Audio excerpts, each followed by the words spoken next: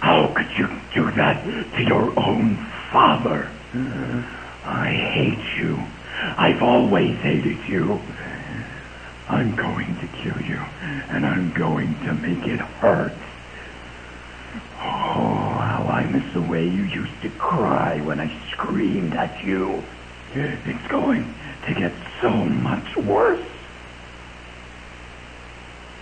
I'm going to get out, and I'm going to find you, and I'll give you